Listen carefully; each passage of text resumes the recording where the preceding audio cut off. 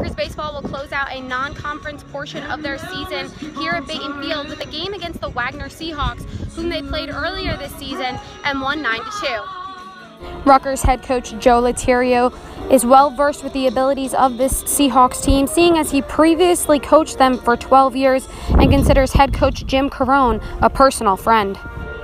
Stay tuned for highlights and a post-game summary. Reporting from Bainton Field, I'm Courtney DuPont.